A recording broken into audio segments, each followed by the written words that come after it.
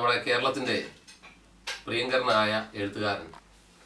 ഒരുപക്ഷെ മലയാള സാഹിത്യത്തിലെ സത്യാന്വേഷകൻ എന്ന് പറയാവുന്ന സക്കറിയ എന്ന് പറയുന്ന പോൾ സക്കറിയ.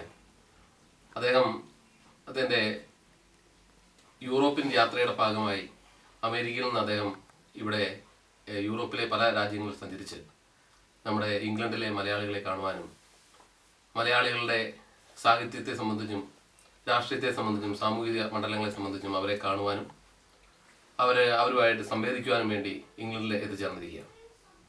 ഞാൻ ആദ്യമായി ഹൃദയം തുറന്ന ഭാഷയിൽ സക്കറിയ സാറിന് ഞങ്ങളുടെ ഈ ലിവർപൂളിലേക്ക് എല്ലാ സ്വാഗതവും ആശംസിക്കുന്നു. അദ്ദേഹത്തെ ഇവിടെ കൊണ്ടുവരാനും അദ്ദേഹത്തെ കാണുവാനും വെച്ചിരിക്കുന്ന നമ്മുടെ സുഹൃത്തുക്കളായിട്ടുള്ള സാബു ഫിലിപ്പ് അതുപോലെ തന്നെ ശ്രീ ആന്റണി ജോസഫ് എന്നിവരും ഒക്കെ ഇവിടെ എത്തിയിട്ടുണ്ട്. അദ്ദേഹത്തെ കാണുവാൻ ഇവിടെ വന്ന് വരുവാനും അതോടൊപ്പം സാഹിത്യത്തെ സ്നേഹിക്കുന്ന അവരെ സംബന്ധിച്ച് സാറിനെ കാണുന്നത് വളരെ സന്തോഷകരമാണ് എന്നുള്ളതുകൊണ്ടാണ് അവരിവിടെ എത്തിയിരിക്കുന്നത്. സാറിനോട് കുറച്ച് ചെറിയ ചോദ്യങ്ങൾ ഇതിനെ സംബന്ധിച്ച് ചോദിക്കാൻ ഞാൻ ആഗ്രഹിക്കുകയാണ്. സാറ് ഒട്ടേറെ വിദേശ യാത്രകൾ നടത്തിയിട്ടുള്ള ആളാണ്. ആ വിദേശ യാത്രകൾ നടത്തുകയും വിദേശ മലയാളികളുമായിട്ട് ഒട്ടേറെ ബന്ധപ്പെട്ടിട്ടുള്ള ആളാണ്. താങ്കളുടെ അഭിപ്രായത്തിൽ എന്താണ് ശരാശരി ഒരു കേരളത്തിലെ മലയാളിയുടെ ഒരു പ്രവാ കേരളത്തിൽ ഒരു കേരളീയന്റെ പ്രവാസി ജീവിതം എന്ന് പറയുന്നത് എന്താണ്? താങ്കളുടെ വീക്ഷണത്തിൽ ഒന്ന് വിശദീകരിക്കാമോ? വളരെ ചുരുക്കി പറഞ്ഞാൽ ഇത് കേരളം കഴിഞ്ഞ ഒരു അറുപതോളം വർഷമായിട്ട് അനുഭവിച്ചുകൊണ്ടിരിക്കുന്ന സാമ്പത്തിക പ്രതിസന്ധി. അതായത് കേരളത്തിലെ ഭരണം നമ്മൾ ഏൽപ്പിച്ചു കൊടുത്തിരിക്കുന്ന രാഷ്ട്രീയ പാർട്ടികൾ അവരുടെ കർത്തവ്യം നിർവഹിക്കാത്തതുകൊണ്ട് കേരളത്തിൽ കഴിഞ്ഞ ഒരു അറുപതോ അറുപതിലേറെ വർഷമായിട്ട് ഉണ്ടായിക്കൊണ്ടിരിക്കുന്ന ഉണ്ടായി വന്ന് ഇന്ന് രൂക്ഷമായിരിക്കുന്ന സാമ്പത്തിക പ്രതിസന്ധിയിൽ നിന്ന് രക്ഷപ്പെടാനാണ്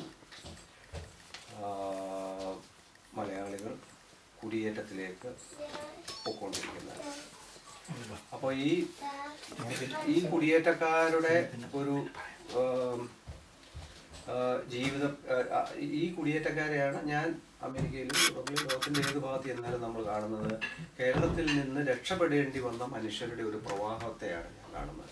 അതാണ് അവരെയാണ് പ്രവാസി എന്ന വാക്കുകൊണ്ട് വിളിക്കുന്ന ആ കുടി മലയാളി കുടിയേറ്റക്കാരൻ ഇതിനെയാണ്. സ്വന്തം ജന്മനാട്ടിൽ അവർ ജീവിക്കാനും പണിയെടുക്കാനും അന്തസ്സോടെ ജീവിക്കാനും അന്തസ്സോടെ പണിയെടുക്കാനും അവന്റെ ആവശ്യത്തിനും അവന്റെ കുടുംബത്തിനും കുഞ്ഞുങ്ങൾക്കും ആവശ്യമുള്ള സമ്പത്ത് ശേഖരിക്കാനും ഉള്ള സൗകര്യം അവിടുത്തെ ഭരണകൂടം നൽകാത്തതിനാൽ സാഹചര്യം നൽകാത്തതിനാൽ രക്ഷപ്പെടുന്നവരാണ് മലയാളി കുടിയേറ്റക്കാർ. ഇത് ഇപ്പോഴും മനസ്സിലും തുറന്നുകൊണ്ട് ഇരിക്കുകയാണെന്നാണ് സാർ യാതൊരു സംശയം ഒരു പൊളിറ്റിക്കൽ സിറ്റുവേഷൻ കേരളത്തിൽ മാറാൻ വേണ്ടി എന്തെങ്കിലും ഒരു അല്ലെ സോഷ്യലോ സോഷ്യലി അല്ലെങ്കിൽ പൊളിറ്റിക്കലി ഈ സിറ്റുവേഷൻ മാറാൻ വേണ്ടി സാറിന് എന്തെങ്കിലും ഒരു സജഷൻസ് പറയാനുണ്ടോ? അത് നമുക്ക് എങ്ങനെ പറയാൻ പറ്റും? ഇത്രയും കാലമായിട്ട് എല്ലാവരും കൂടി ചെയ്ത് ഒരാളിന് മാത്രം എനിക്ക് എന്നെ പോലെ ഒരാളിന് എങ്ങനെ ഇത്ര ഇത്രയും പത്ത് അരനൂറ്റാണ്ടിലേറെ പഴക്കമുള്ള മൂന്ന് കോടി ജനങ്ങളുടെ ഒരു സാമ്പത്തിക പ്രശ്നത്തിന്റെ സൊല്യൂഷൻ ഞാനെങ്ങനെ എന്നെ പോലെ ഒരാളിനെ എങ്ങനെ കണ്ടുപിടിക്കാൻ പറ്റും? അതിനു വേണ്ടിയിട്ടാണല്ലോ നമ്മൾ എല്ലാ അഞ്ച് വർഷം കൂടുമ്പം മാസം എട്ടും പത്തും ലക്ഷം രൂപ ശമ്പളം കൊടുത്ത് മന്ത്രിമാർ എന്ന് പറഞ്ഞ ആളുകളെ നമ്മൾ അവിടെ ജോലിക്കാരായിട്ട് ഇരുത്തിയിരിക്കുന്നത്. അവർ ചെയ്യേണ്ട ഈ ജോലിയാണ് നമ്മൾ അവർക്ക് കൊടുത്തിരിക്കുന്നത്. എങ്ങനെയാണ് ഇത്രയും സങ്കീർണമായ ഒരു പ്രശ്നം പരിഹരിച്ച് മലയാളികളെ ഐശ്വര്യത്തിലേക്കും സമാധാനമുള്ള ജീവിതത്തിലേക്കും നയിക്കുക എന്ന ജോലി അവർക്ക് കൊടുത്തിരിക്കുന്നത്.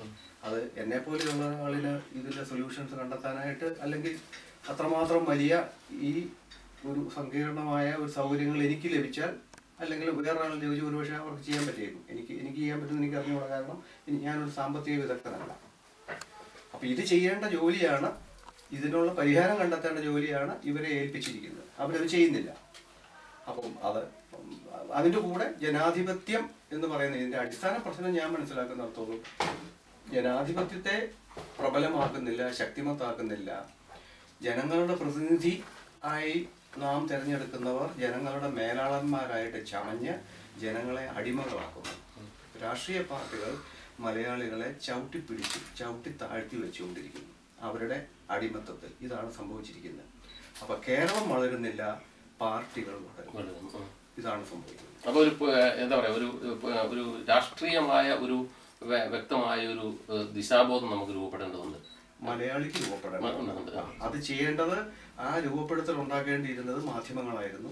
മാധ്യമങ്ങൾ ആ കടമ നിർവഹിക്കുന്നില്ല. അവർ പരസ്പര മത്സരവും അവരുടെ സാമ്പത്തിക ലക്ഷ്യങ്ങളുടെയും പിന്നാലെ പോകുന്നു. അത് കേരളത്തിൽ മാത്രമല്ല ഇന്ത്യ ഒട്ടാകെ ഇവിടെ ഇംഗ്ലണ്ടിലും ഒക്കെ അത് തന്നെയാണ് സംഭവിച്ചുകൊണ്ടിരിക്കുന്നത്.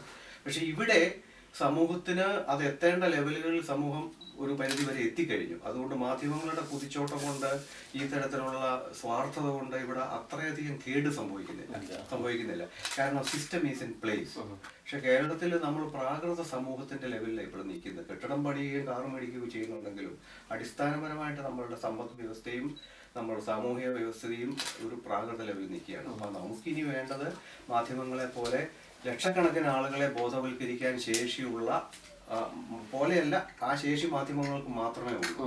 അവർ രംഗത്ത് വന്ന് ഇതിനെ തിരുത്താൻ ശ്രമിക്കണം. അതിന് പകരം അവർ ഈ ഇംഗ്ലീഷ് ഇതിൽ പറയുന്ന പോലെ ജനങ്ങളുടെ പക്ഷത്താണെന്ന് നടിക്കുകയും ഭരണകൂടത്തിന്റെയും ഫാഷിസങ്ങളുടെയും പക്ഷത്ത് നിൽക്കുകയും ചെയ്യുക. അതായത് ഇംഗ്ലീഷിൽ ഒരു പഴഞ്ചൊല്ലുണ്ട് hunting with the dog and running with hare എന്ന് പറയും.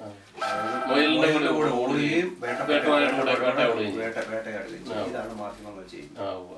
അപ്പം ശരി ഇനി രണ്ടാമത്തെ ഒരു ചോദ്യം എന്ന് പറയുന്നത്. സാറ് അമേരിക്കയിലെ അമേരിക്കയെ പോലെ ഇന്ത്യയിലും ആമേൻ എന്ന ശീർഷകത്തിൽ എഴുതിയ ലേഖനത്തിൽ ഒരു വിദേശ രാജ്യത്ത് എത്തി എത്തിയിട്ടും അവിടുത്തെ സംസ്കാരങ്ങളോ അവിടുത്തെ മൂല്യങ്ങളോ ഉൾക്കൊള്ളാൻ കഴിയാതെ കേവലം ജീർണിച്ച നമ്മുടെ സംസ്കാരങ്ങളെ അതേപടി തന്നെ പുനഃപ്രതിഷ്ഠിക്കാനാണ് മലയാളി ശ്രമിക്കുന്നതെന്ന് സാർ പറഞ്ഞില്ലേ? ഒരു പരിധിവരെ സാർ പറഞ്ഞത് വളരെ ശരിയായിട്ട് ഇപ്പൊ യു കെയിൽ കാണുന്നുണ്ട്. കാരണം ഇവിടെ ധ്യാനം എന്ന് പറയുന്ന ഒരു വലിയ ഇൻഡസ്ട്രിയായി മാറിയിരിക്കുകയാണ്. കാരണം ധ്യാനങ്ങൾ എന്നും എന്ന് പറഞ്ഞ പോലെ എല്ലാ സ്ഥലങ്ങളിലും തന്നെ നടന്നുകൊണ്ടിരിക്കുന്നു. അതൊരു വലിയ വ്യവസായത്തെക്കാൾ കൂടുതൽ ഇപ്പൊ മലയാളിയുടെ ഇടയ്ക്ക് മലയാളി എന്നുള്ള നിലയിൽ ഇവിടെ വളരുന്ന ഒരു ഇൻഡസ്ട്രിയാണ് അതോടൊപ്പം തന്നെ ഈ ബിഷപ്പുമാർ എന്ന് പറയുന്നത് ഇന്ന് വലിയൊരു എഴുന്നള്ളത്ത് അറിയാം ഇവിടെ ഇവിടെ ഒരു വലിയ ബിഷപ്പ് എഴുന്നള്ളത്തായിരുന്നു നടന്നുകൊണ്ടിരിക്കുന്നത്. പത്തും പതിമൂന്നും ബിഷപ്പുമാർ ഒരേ സമയത്ത് വരുന്നു. അതുപോലെ തന്നെ ഇത് ഇവിടെ ഇവരുടെ സാന്നിധ്യം ഉറപ്പിക്കാൻ വേണ്ടി ഇവർ ചെയ്തുകൊണ്ടിരിക്കുന്നത് എന്താ വെച്ചാൽ പരസ്പരം ആളുകൾ പീഡിപ്പിക്കുക. ഇപ്പൊ തന്നെ ലേറ്റസ്റ്റ് ആയിട്ട് കത്തോലിക്ക മൂവ്മെന്റ് കത്തോലിക്ക അസോസിയേഷൻ എന്നൊരു ഭാഗത്ത് ഒരു ഭാഗത്ത് കനാനായ അസോസിയേഷൻ ഇവർ തമ്മിലുള്ള ഒരു വലിയ സംഘർഷം തന്നെ ഇവിടെ നടന്നുകൊണ്ടിരിക്കുന്നു. അപ്പൊ ഇതിന്റെ പുറകിൽ എനിക്ക് മനസ്സിലാകുന്ന അവർ അവർക്ക് അവരുടെ താല്പര്യങ്ങൾ സംരക്ഷിക്കാൻ വേണ്ടി ഉണ്ടാക്കുന്ന പരിപാടിയുടെ ഒരു ഭാഗമായിട്ട് അപ്പൊ സാറ് ഈ അമേരിക്കയിലെ ആയിലും ആമേൻ എന്ന് പറഞ്ഞ ആ ആ ഒരു കൺസെപ്റ്റ് പറഞ്ഞത് ഈ എന്തുകൊണ്ടാണ് മലയാളി അത്തരത്തിൽ ഒരു പുതിയ വ്യൂവും ഒരു പുതിയ കാഴ്ചപ്പാടും ഉണ്ടാകാതെ അവൻ കേവലമായ അവന്റെ ജീർണത സാറിന്റെ ഭാഷ തന്നെ ജീർണത ഇങ്ങനെ ഒഴിലുന്നതെന്ന് സാറിനൊന്ന് ഒന്ന് വിശദീകരിക്കാമോ? ഇല്ല അത് നമുക്ക് അതിന് കാരണങ്ങൾ കണ്ടെത്തുക എന്ന് പറയുമ്പോൾ ഈ കേരളത്തിലും ഏതാണ്ട് ഇതേ അവസ്ഥയൊക്കെ തന്നെയാണ് ഉള്ളത്. അപ്പം ഇവിടെ അതിൽ നിന്ന് വ്യത്യസ്തമായ ഒരു അവസ്ഥ ഉണ്ടാകുമെന്ന് നമ്മൾ പ്രതീക്ഷിക്കുന്നത് എന്തുകൊണ്ടാണ്?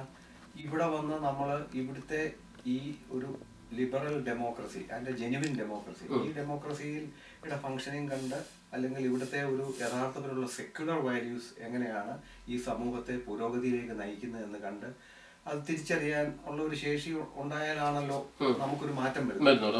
ആ മാറ്റം ഇത് നിർഭാഗ്യവശാൽ ഇപ്പം നാട്ട് നാട്ടിൽ നിന്ന് അമ്മന്നിയപ്പത്തിന് വേണ്ടി ഇവിടെ വന്നെത്തുന്ന മലയാളിയെ സംബന്ധിച്ചിടത്തോളം അത്തരം ഒരു പഠനമോ നിരീക്ഷണമോ നടത്താനുള്ള അവസരം അവർക്ക് കിട്ടാറില്ല. കിട്ടാറില്ല. വായിക്കാനോ അല്ലെങ്കിൽ ഒരു ഒരു- പത്രം വായി ഞാൻ ഞാൻ യാത്ര ചെയ്തിട്ടുള്ള മലയാളി വീടുകളിലൊന്നും ഒരു പത്രം കാണാറില്ല. പത്രം ഇല്ല.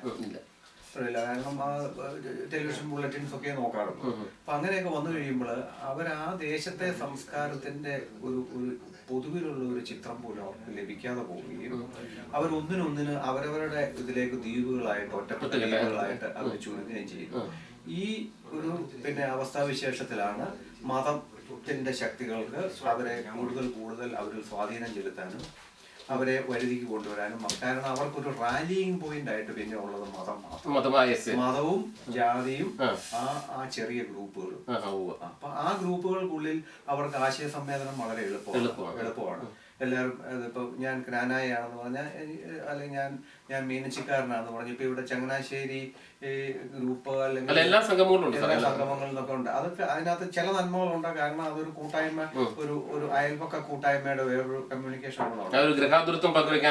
പങ്കുവെക്കാനുള്ള നന്മയുണ്ട്. അത് ചില- ഒരു പക്ഷേ അതിന്റെ പേരിൽ അവർക്ക് ആ- ആ പ്രദേശത്തിന് വേണ്ടി എന്തെങ്കിലും ചെയ്യാൻ പറ്റുമായിരിക്കാം. അതൊക്കെ ഉണ്ട്.